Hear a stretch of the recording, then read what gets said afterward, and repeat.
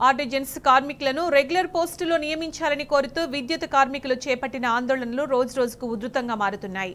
తెలంగాణ విద్యుత్ artisans convention jacks ఆధ్వర్యంలో artisans మహాధర్ణ చేపట్టారు. హైదరాబాద్ పబ్లిక్ గార్డెన్ నుండి భారీ ర్యాలీగా బయలుదేరి ఎన్పీడీసీఎల్ భవనం ముందు బైఠాయించారు. ఆర్టిజన్స్ నాయకులు కార్మికులు పెద్ద ఎత్తున ఈ నిరసనలో పాల్గొన్నారు. కాంగ్రెస్ పార్టీ ఎన్నికల కంటే ముందు ఇచ్చిన హామీలను నిలబెట్టుకోవాలని కోరారు. ఆర్టిజన్స్ అర్హతలను బట్టి రెగ్యులర్ పోస్టులో నియమించాలన్నారు ఎన్పీడీసీఎల్ పరిధిలోని ఎనిమిది వేల ఆరు వందల అరవై నాలుగు మంది కాంట్రాక్ట్ అవుట్ సోర్సింగ్ కార్మికులను ఆదుకోవాలని డిమాండ్ చేశారు.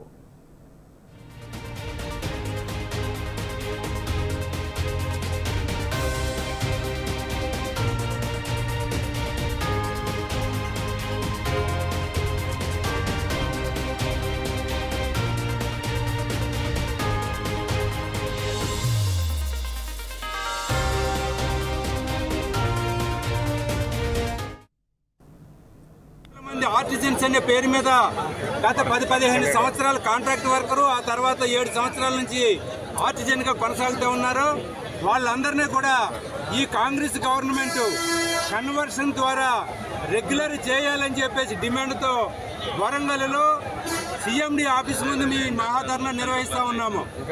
గతంలో కూడా హైదరాబాద్లో ఉన్నటువంటి ఎస్పీడీసీఎల్ బేస్డ్గా ఉన్నటువంటి మింటి కాంపౌండ్లో కూడా ధర్నా చేశాము. నిన్ననే బట్టి విక్రమార్క గారు డిప్యూటీ సీఎం అండ్ విద్యుత్ శాఖ మంత్రి డిప్యూటీ సీఎం గారిని కూడా కలిసాము బట్టి విక్రమార్క గారిని. ఆర్టీజీఎల్ యొక్క కన్వర్షన్ కన్వర్షన్ అంటే ఏంటనేది డిప్యూటీ సీఎం గారు అడిగారు.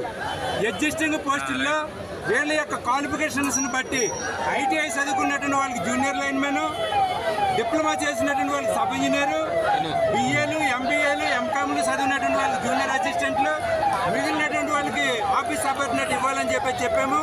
ఇవన్నీ కూడా ఎగ్జిస్టింగ్ పోస్టులే తప్ప అదనంగా ఇచ్చేవి కాదు.